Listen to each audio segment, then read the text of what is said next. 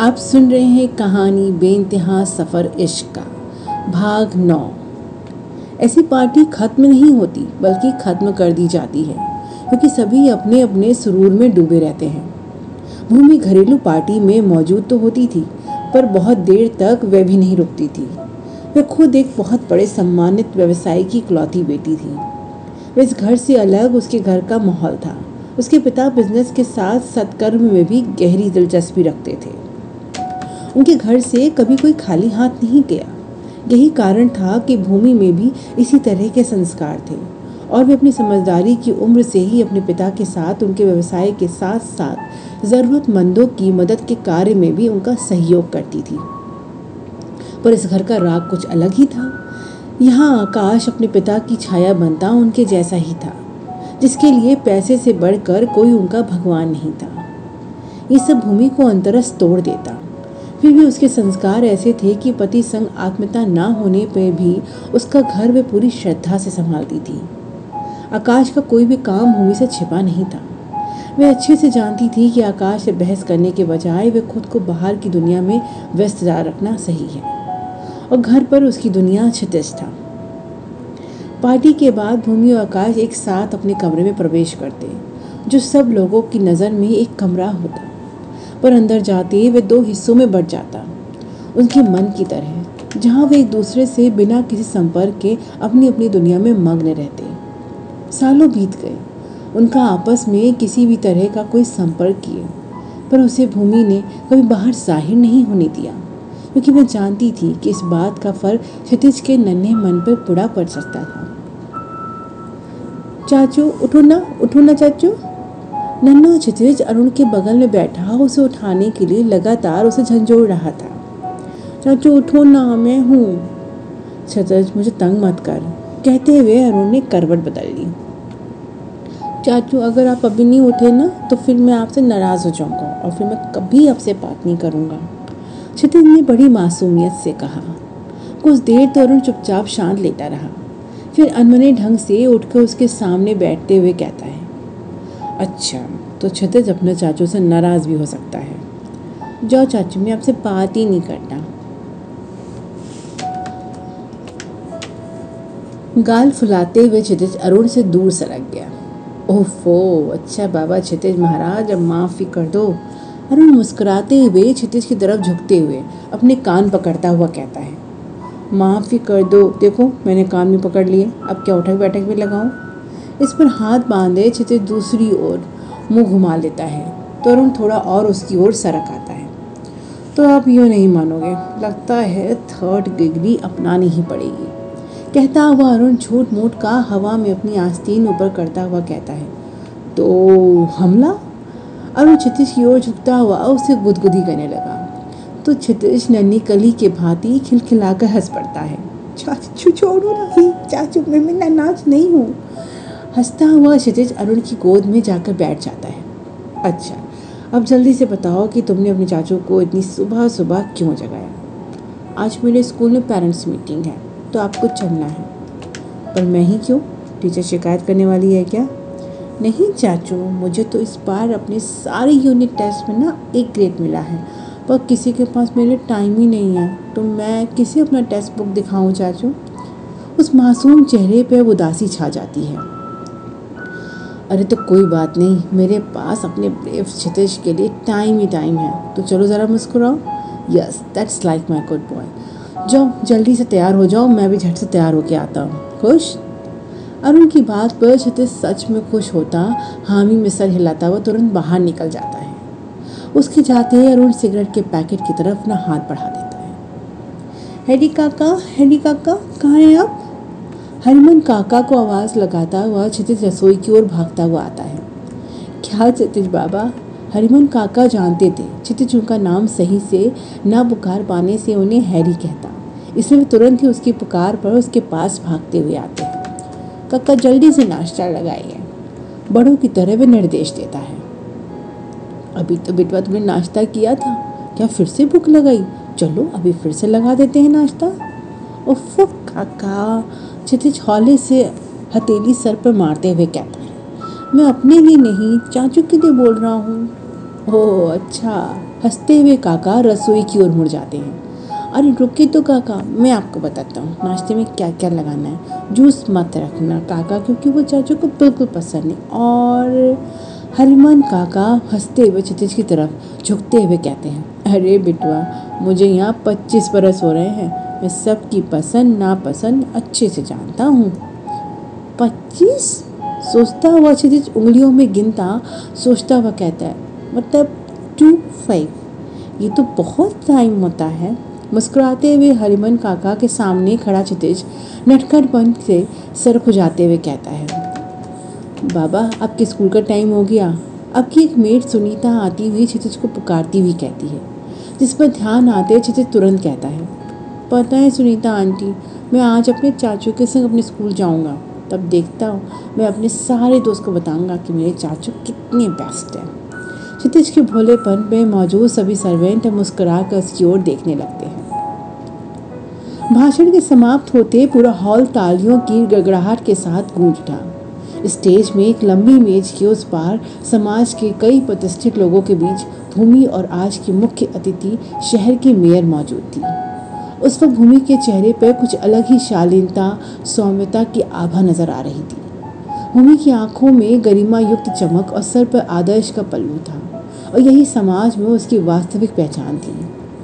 आज उसके द्वारा स्थापित बाल महिला संरक्षण संगठन की पच्चीसवीं वर्षगांठ थी।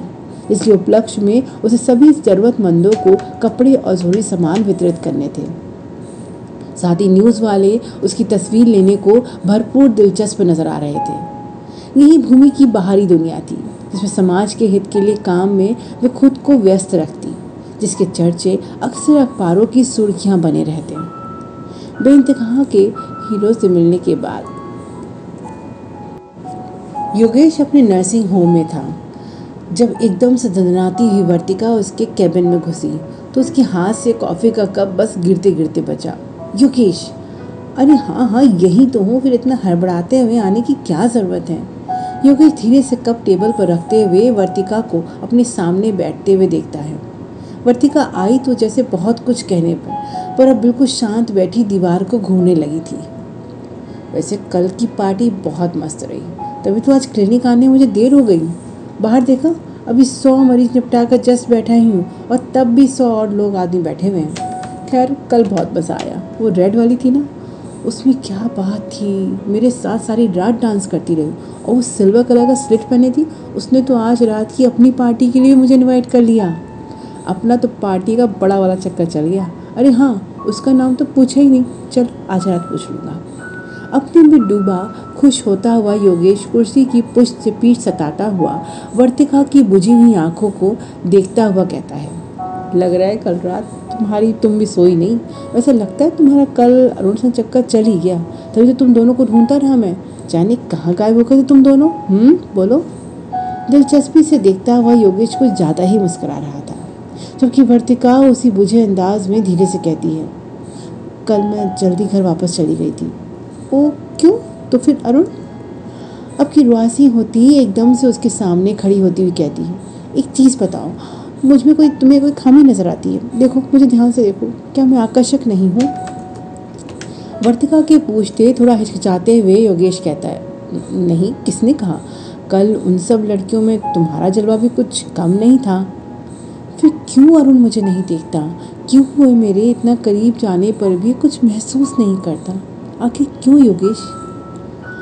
कल उससे कुछ बात हुई क्या तुम्हारी? बात करता तो ठीक था, कुछ नहीं कहा। बस मुझसे जैसे दूर ही भागता रहता है। कहीं योगेश, उसके जीवन में कोई और तो नहीं आ गई और हमें पता ही ना हो, अचानक से उलझी हुई योगेश से पूछती है, अरे, सौ प्रतिशत इसका जवाब नहीं में है। कुछ भी ऐसा होता तो मुझसे छुपाने वाला नहीं था वो। वैसे उसकी बात को इतना सीरियस लेने की ज़रूरत नहीं है यार। हो सकता है कल उसका मूड ना हो तो आज जाकर मिल लो। यार, हम तीनों एक दूसरे को स्कूल समय से जानते हैं, फिर भी तुम उसकी हर एक बात पे इतनी जल्दी रिएक्ट कर लेती हो। योगेश, उस वक्त और इस वक्त में बहुत फ़र्क है। तुम शायद समझना ही नहीं चाह रहे हो या समझ ही नहीं रहे। जब सब कुछ हमारे बीच सिमिलर है, तब बस उसकी एक हाँ के लिए मैं तरस रही हूँ। जबकि मैं उसके प्रति अपना सब समर्पण करने को तैयार हूँ, बस एक बार मुझे नज़र भर कर देख तो ले। अच्छा अच्छा रुको, मैं आज ही उससे बात करता हूँ और उसके दिल का सारा राज निकलवाता हूँ कि बॉस माजरा क्या है। तब तक तो तुम आराम से घर जाओ। मैं हूँ ना? ओके थैंक्स योगेश, तुम कम से कम दोस्ती तो निभा रहे हो। अरुण तो मुझसे बेगानों की तरह व्यवहार करता है। उसका ऐसा बिहेवियर मुझसे हजम ही नहीं होता। डोंट वरी चल मारो यार, और ये लो, खाओ। कहता हुआ वह उसके हाथ में कोई गुलाबी टैबलेट रखता हुआ कहता है। ये क्या है? डाइजीन हाँ? अरे, अभी तुमने तो कहा हजम नहीं होता। कहता हुआ योगेश खुल कर हंस पड़ा। उसकी इस हरकत पर वर्तिका नाराज़ होती टैबलेट उसकी मेज पर वापस पटकती हुई उठ जाती है। उसे गुस्से में जाता हुआ देख योगेश पीछे से हंसता हुआ कहता रहा, अरे यार, मज़ाक कर रहा था वर्तिका, सुनो तो चली गई यार। यार योगेश, तुझ पर ये मस्ती किसी दिन ना भारी पड़ जाएगी, इसलिए बी सीरियस समझा ना? खुद को समझाता हुआ योगेश टेबल पर रखी बेल बजा देता है। अपने केबिन में बैठा आकाश बुरी तरह से पस्त हाव भाव के साथ अपने मोबाइल की स्क्रीन देख रहा था। अभी भी जो कॉल डिस्कनेक्ट हुई थी, शायद उसी के कारण उसके चेहरे के हाव भाव बदले हुए थे। अब तुरंत ही मोबाइल रख कर टेबल पर रखे इंस्ट्रूमेंट से कहीं कॉल लगाता है। फ़ोन तुरंत ही उठा लिया जाता है और दूसरी ओर से बहुत ही हल्के भाव से पूछा जाता है हाँ कौन है बे? मैं बोल रहा हूँ इडियट ओ आकाश सर वो क्या है ना, इसमें नंबर नहीं दिखता। इसलिए पता ही नहीं चला कि किसका फ़ोन आ गया। नहीं तो आपकी आवाज़ तो मैं सपने में भी पहचान लूँ। अपनी बकवास बंद करो। सुनो मुझे, मेरी बात ध्यान से सुनो।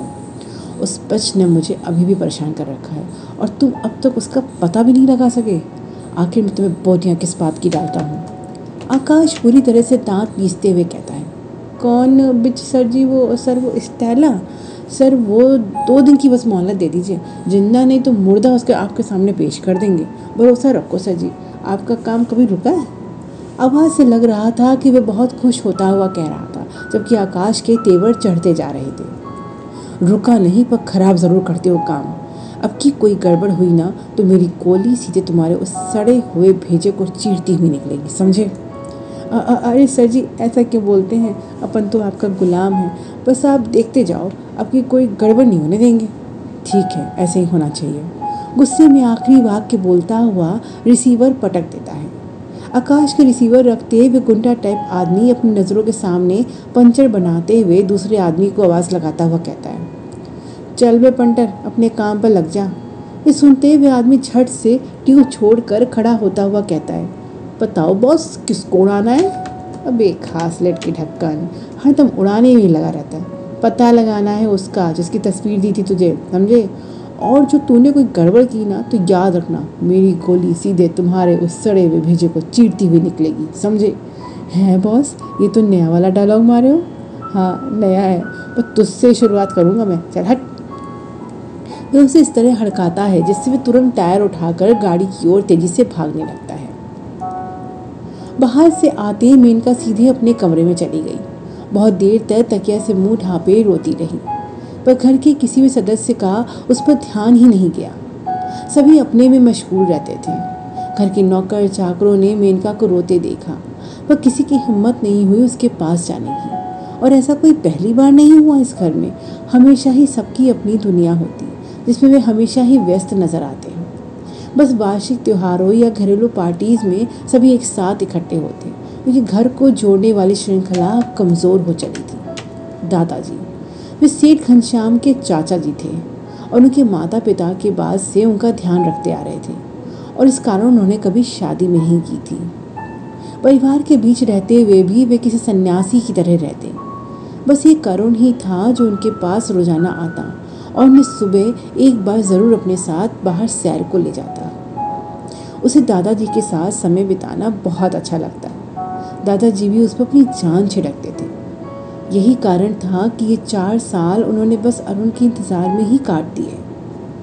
हरमन काका से नहीं रहा गया तो वे दादाजी को मेनका के बारे में बता देते हैं। ये सुनते वे छड़ी टेकते मेनका के कमरे में चल देते हैं। कौन है? कहा ना मुझे कुछ नहीं चाहिए, मुझे अकेला छोड़ दो। दरवाजे की दस्तक पर मेनका लेटे लेटे ही चीखती है।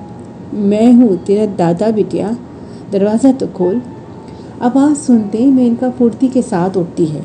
और दादाजी को सहारा देते हुए उन्हें आराम से अपने कमरे में बैठाती हुई कहती, आप सीढ़ियाँ चढ़ के ऊपर क्यों आए? मुझे बुलवा लिया होता। आपको डॉक्टर ने सीढ़ियाँ चढ़ने से मना किया है ना? वे प्यार से उनका हाथ पकड़े हुए कहती हैं, अरे डॉक्टर को तो काम ही है बात बात में मना करना। वो बेड रेस्ट को बोलेगा तो क्या मैं बिस्तर पे पड़ा रहूँगा? बड़े दिन से तुझसे मिलने की इच्छा थी सो चला आया। तुझे तो अपने दादाजी की याद आती ही नहीं। ऐसा नहीं है दादाजी। जल्दी से उनके हाथ को पकड़ती हुई कहती है, वो नया कॉलेज है ना तो थोड़ा समय ज़्यादा लग जाता है। वह सर नीचे किए कहती है अच्छा हाँ पंचकनी छोड़ दिया था ना अच्छा ही किया। सब घर में रहते हैं तो हलचल बनी रहती है। भले ही ना मिले, पर लगता है सब घर पर तो हैं। अच्छा कॉलेज बदला तो पढ़ाई तो संभालनी पड़ती होगी ना? अभी परीक्षा चल रही होगी, क्यों? मेनका कहीं खोई हुई ज़मीन को घूर रही थी।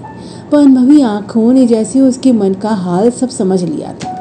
वे प्यार से उसका सर सहलाते हुए कहने लगे, मन परेशान हुआ करे तो आ जाया करो बिटिया, और अगर लगे अपने दादा से कुछ मन का बांट सकती हो तो कह दिया करो। मन में यूँ ही रखने से मन भारी हो जाता है। समझो घड़ा है न मन, जो भरते भरते कभी कभी उफन ही पड़ता है। मेनका चुपचाप खामोशी से उनकी बात सुनती रही और वे भी कहते रहे आंसुओं की अपनी कोई भाषा नहीं होती, वरना वे आँखों से बहते खुद भी अपना दर्द कह सुनाते। इसलिए हमें ही अपने मन की व्यथा को बताना पड़ता है। इस घुटन से खुद को ही निकालना पड़ता है। इसलिए जब लगे कुछ मन की बांट सकती हो तो बांट लेना चाहिए। अच्छा होता है इससे मन। दादाजी, बात कुछ नहीं होती। फिर भी कभी कभी मन इतना भर आता है कि आँख अपनी आप भर जाती है। मुझे यहाँ बहुत घुटन महसूस होती है। कहने को परिवार में सभी हैं, पर किसी के पास आपस में कहने सुनने का वक्त ही नहीं। मुझे तो लगता है इससे अच्छा तो मैं हॉस्टल में थी। कम से कम लगता तो था कि मैं अजनबियों के बीच में हूँ। दादाजी मेनका का दर्द समझ रहे थे और अच्छे से जानते थे। इस घर की व्यथा को भी। वे किसी मृत तृष्णा के पीछे सब भाग रहे थे और हासिल कुछ भी नहीं है। सोचते सोचते वे गहरी सांस भीतर लेते हैं। मेनका अब उनकी गोद में सर रखे, चुपचाप दो बूंद गालों से लुढ़का देती है। जुड़े रहे बेइंतहा की दुनिया से और सुनते रहें इश्क की सफ़र का ये नया आगाज़। इस कहानी से जुड़े रहने के लिए इस चैनल को सब्सक्राइब करना बिल्कुल ना भूलें और कहानी पसंद आने पे लाइक करें और अपने मित्रों से ज़रूर साझा करें। धन्यवाद।